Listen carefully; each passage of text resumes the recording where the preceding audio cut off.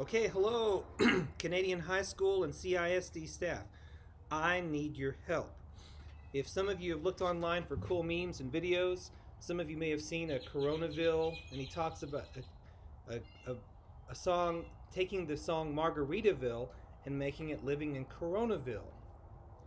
Well, the guy, the the one I saw mentions toilet paper and stuff, which is okay, but I'm trying to write some cool lyrics. I'm not a very good musician or lyricist, but here's what I have so far. Some of you know this song. Living on sponge cake, watching the sun bake. All of those tourists covered with oil. Well, I'm going to change that. Instead of living in wait, wasting away again in Margaritaville, it's going to be living in Coronaville. So here's my first rendition.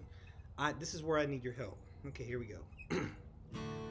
living on something, some crackers or muffins, whatever the store had left on the shelf.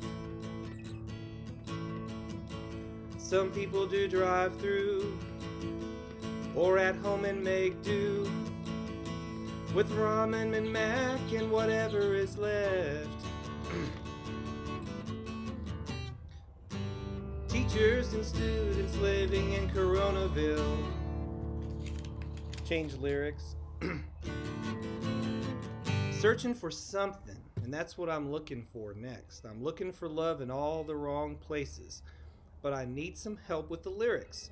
That's where you come in. Okay, email me, send me videos, whatever it takes to get the perfect video. Because we want this to go viral, not like Corona, but viral like hashtag. Okay, so here's my beginning. I'll send it out and see what we get. Thanks. Bye.